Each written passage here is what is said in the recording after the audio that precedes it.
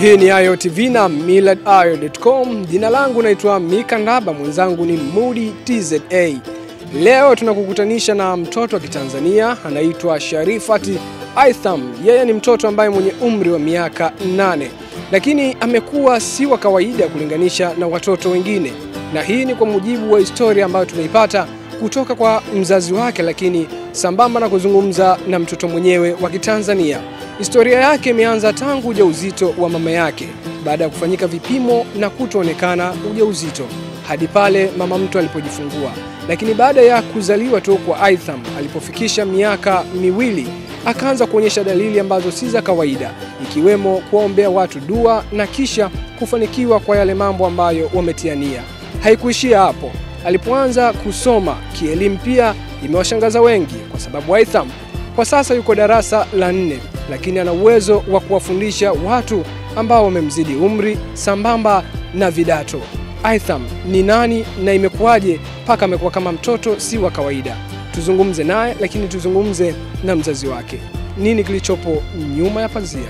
Naitwa Sharifat Haitham Khamisi Mshauri, ninasoma darasa la nne, nasoma katika shule ya UICC CEMN Primary School.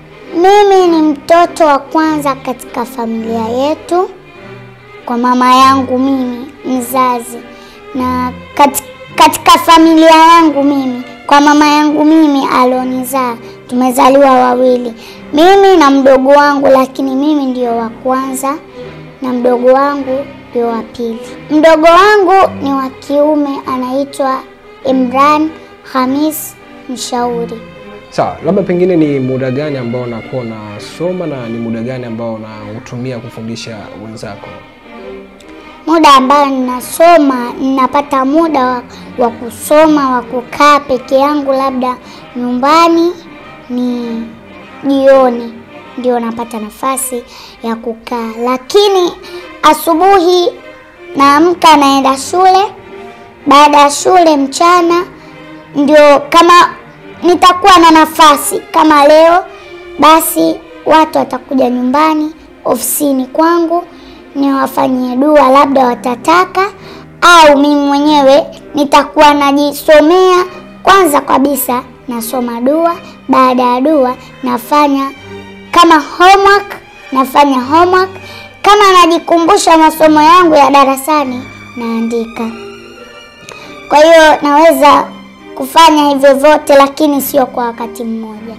Na uwezo wako ni kufundisha wanafunzi wenzako kuanzia level gani? Kwa maana kuanzia darasa la ngapi mpaka kuendelea? Labda tuseme kuanzia hata nasari mi naweza nikawafundisha, lakini sana sana wale waliovuka walio waliovuka darasa la saba kuanzia kidato cha kwanza na kuendelea, Wote unawafundisha. ndio Uwezo wako darasani ukoje kielimu? niko vizuri, na pia vile vile baba aliniambia kuwa nimekuwa wa kwanza. Namshukuru Mwenyezi Mungu na namwomba pia niendeleze nikuwe na maadili mema. Umekuwa mtoto wa kwanza kati ya watoto wangapi darasani ama shuleni? thelathini na moja. Hongera sana. Asante. Sawa, unafanya dua na siku umezitaja kati ya Jumamosi na Jumapili. Shuleni utaratibu ama mpangilio wako wa masomo ukoje? Kwamba zile ratiba shuleni zikoje? Ratiba mi pia nazifuatilia, na kama rat, kama ratiba ya shule basi najiandikia muda wangu wa shule. Kama kesho kuna mtihani, basi naandika mtihani gani unaoanza. Kama science, mi mwenyewe najikumbusha science, masomo ya aina mbalimbali, topic za aina mbalimbali. Kama mathe, najikumbusha topic za aina mbalimbali. Ndio ratiba za shule na ratiba zangu ndizo ninazozipanga.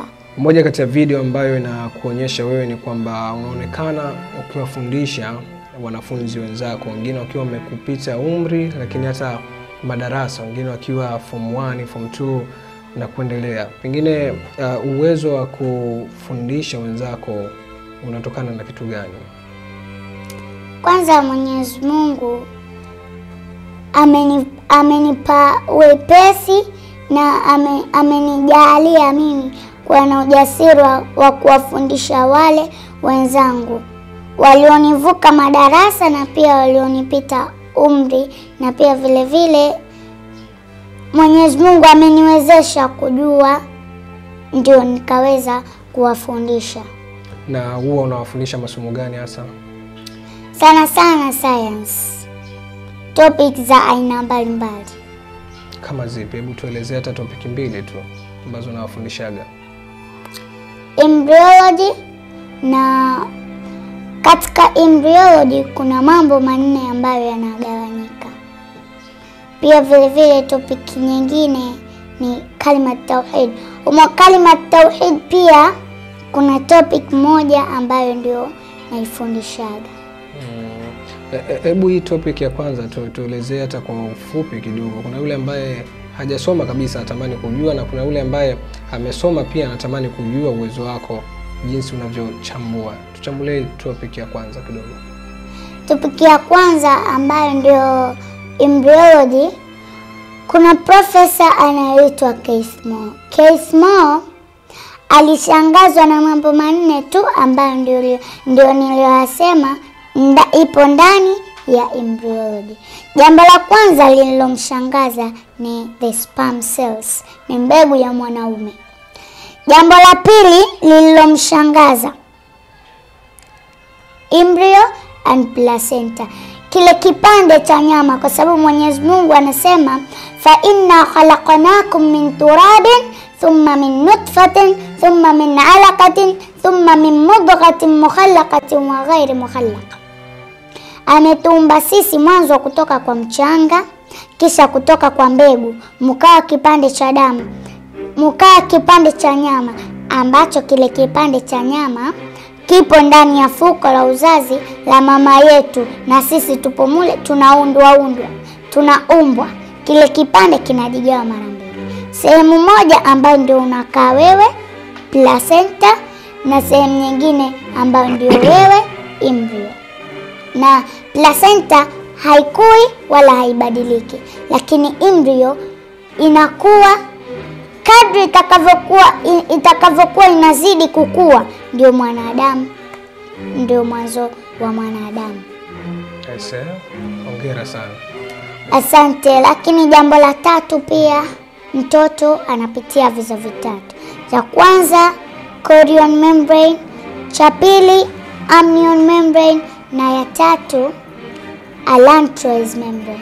Na jambo la mwisho kabisa ambalo lililomshangaza Profesa Moore mpaka kuja kusilimu kuingia katika Uislamu ni habari ya kwamba mwanamke ana chromosomes mbili zinafanana X na X. Mwanaume ana chromosomes mbili hazifanani X na Y. Mwanaume akitoa X na mwanamke akitoa X zinachanganyika, anapatikana mtoto ambaye chromosomes zake kwa hiyo mtoto wa aina gani huyu? Wa kike, kwa sababu chromosomes zimefanana X na X. Mwanaume akitoa Y na mwanamke akichangia X, anapatikana mtoto wa kiume. Profesa Keith Moore na wenzake wamekuja kugundua kuwa mbegu ya mwanaume ndio inasababisha jinsia ya mtoto kubadilika. Imekuwaje unasoma na muda huo unafanya shughuli za kuombea watu dua na una kituo kabisa? Ni vipi unatenga pia muda wako? Kwa sababu natenga muda tofauti tofauti. Kama kuna muda wa kucheza, natenga leo muda wangu wa kucheza tu, ili nisichanganye, na kuna siku maalum natenga muda wangu wa michezo. Kuna siku maalum kama siku za Jumamosi na Jumapili huwa na wasomea sasa watu dua, ndo mpangilio wangu ulivyo, na siku ya kujisomea ndo za kawaida, na hizo umo umo ndo za kuchezea. Uwezo wa kuombea watu dua umeutoa wapi, ama umefundishwa ama imekuwaje? Hapana, hajanifundisha yoyote, na aliyonipa ni Mwenyezi Mungu Subhanahu wa Ta'ala, kwa sababu Mwenyezi Mungu yeye ndio kila kitu. Ilikuwaje ukajikuta unaanza kuombea watu dua? Hadi kufikia sasa kiasi kwamba umefungua na kituo? Mwenyezi Mungu ananipa kupitia ndoto, lakini siku moja kuna ndoto ilinishangaza. Nimesikia ninaambiwa wasema ya Qaharu, ya Jabbar, ya Razaq.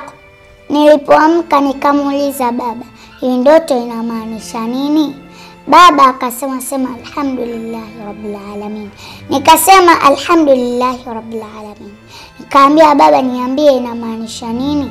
Baba akasema hayo ni majina ya Mwenyezi Mungu, endelea kumwomba msamaha Mwenyezi Mungu na pia kumwomba Mwenyezi Mungu akusaidie na pia ukue, Mwenyezi Mungu akupe uwezo wa kuwatolea watu dawa, wa kuwafanyia watu dawa, wa, wa dua pia na pia vile vile wa kuwatibia watu.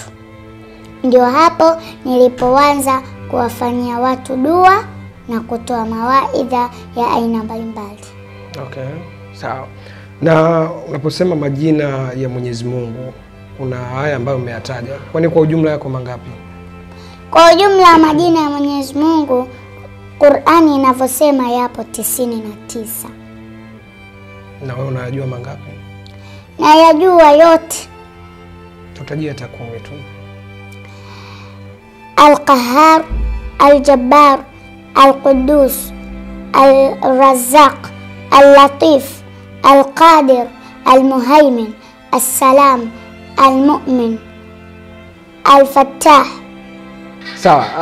Uh, mwingine anaweza kuwa anajiuliza pia kwamba haya yote ambayo unayajua na dua zile ambazo unazifanya, pengine watu wanakulipa ama inakuwaje?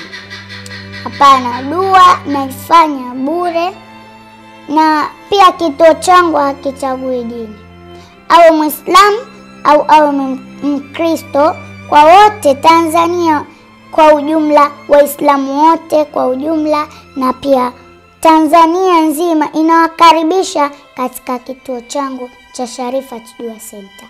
Na unaweza kuhudumia watu wangapi katika siku ambazo umezitaja, kwa maana Jumamosi na Jumapili? Watu wengi wanafika katika kituo changu. Kwa maana hiyo, naweza nikaanza dua asubuhi, tunakuja kumaliza jioni. Okay. Tukirudi shule, uh, ni vipi sasa wanafunzi wenzako huwa wanakuchukulia vipi, yani katika hali ya kawaida tu ambayo mnasoma na mambo mengine? Wananichukulia vizuri na Mwenyezi Mungu amenijalia kuwa wananipenda, na pia mimi mwenyewe nawapenda pia kwa ajili ya Allah, na pia vile vile wanatamani sana niwafanyie dua wafaulu mitihani. Baadhi nawafanyia dua, baadhi nawaombea dua bila wao kutaka, lakini Mwenyezi Mungu anawajalia wanafaulu vizuri. Na changamoto gani ambayo unakumbana nayo? Changamoto nyingi ambazo nimekumbana nazo katika misafara yangu, katika misafara yangu ambayo nimeenda mbali zaidi, nakutana na watu wa aina mbalimbali. Kwa hiyo nimekuwa nikipata changamoto nyingi, lakini Mwenyezi Mungu ameleta shifaa yake, ameleta kadari yake na ananifanyia wepesi katika kila msafara wangu. Kwa hiyo namshukuru Mwenyezi Mungu, nasema alhamdulillahi rabbil alamin. Na kwa upande wa shuleni ni masomo gani hasa unayapenda binafsi? Napenda sana science na math kwa sababu mimi natamani nikiwa mkubwa niwe mwanasayansi mkubwa. Kwa maana hiyo niwe daktari mkubwa, na pia vile vile nitakuwa natenga muda wangu wa kuwatibia watu, na pia vile vile namwomba Mwenyezi Mungu aniendeleze hivi hivi na niwafundishe ni, wakina mama wenzangu, Inshallah. na pia vile vile kazi yangu ni kuwatolea watu mawaidha na kuwafanyia watu dua na pia vile vile kumuomba Mwenyezi Mungu, kwa sababu Mwenyezi Mungu ndio Alqadir, yeye ndio mwenye kukadiria. Kwa hiyo namuomba Mwenyezi Mungu kwa wale ambao Mwenyezi Mungu amewekea kadari ambayo haijulikani kama nzuri au mbaya, basi Mwenyezi Mungu namwomba awafanyie wepesi hao watu au sisi wote kwa ujumla. Na pengine hizo dua unakuwa unaomba kwa mtindo wa aina gani? Naomba tofauti tofauti, kwa sababu kuna dua za aina mbalimbali. Kuna dua ya maradhi, kuna dua ya kufungua riski, kuna dua ya kumwomba Mwenyezi Mungu amani na utulivu, na pia vile vile kuna dua ya kujiombea mwenyewe. Mwenyezi Mungu akupe umri mrefu, Mwenyezi Mungu akufanyie wepesi, akukuze katika makuzi yaliyo mema, pia vile vile uwalee watoto wako katika maadili mema. Mtu yoyote anaweza akawa anamwomba Mwenyezi Mungu na anaweza akafanikiwa ama asifanikiwe, lakini unapozungumzia dua kwamba kuna kitu maalum ambacho umekiandaa kwa ajili ya kufanya hizo dua, ama muda wote tu ukilala, ukiamka, unaomba dua? Mtume anasema kila jambo lina mahala pake, hmm. na pia kila kitu hauwezi kufanya bila dua. Ndio maana tunasema dua ni ibada, kwa sababu unapotaka kulala lazima uombe dua, ukiamka lazima uombe dua. Kwa hiyo na mimi Mwenyezi Mungu amenijuza kupitia ndoto, na pia kabla ya mtu kuja kunifata, kwanza najiombea dua mimi mwenyewe, anikinge na shari za kijini na za kishetani. Na huyo mtu akija, mimi namwomba Mwenyezi Mungu kwanza anifanyie wepesi mimi niweze kumtibu yule, na ndio Mwenyezi Mungu alete shifaa. Sawa. Dua hizi unazifanyia sehemu gani? Nafanya katika kituo changu kinachoitwa Sharifat Dua Center kilichopo Machimbo, mwisho wa lami Lumo. Rais wa sasa wa Tanzania anaitwa nani? Anaita, anaitwa Samia Suluhu Hassan, na mi pia namwombea dua Mwenyezi Mungu amkinge na kila shari, ampe kila lilokuwa la kheri insha Allah. insha Allah. Na ukipata bahati ya kukutana naye unaweza ukamwambia kitu gani? Kwanza kabisa naweza nikamwombea dua, kwa sababu dua ni ibada. Naweza nikamwombea dua. Mwenyezi Mungu amki, amkinge na kila lilokuwa la shari na maradhi ya aina mbalimbali, na pia Mungu ampe umri mrefu wenye manufaa, na pia vilevile vile namwomba Mwenyezi Mungu amfanyie wepesi rais wetu awe tuweze kuingia pamoja peponi na pia vilevile vile aweze kumwona Bwana Mtume Muhammad sallallahu alaihi wasallam.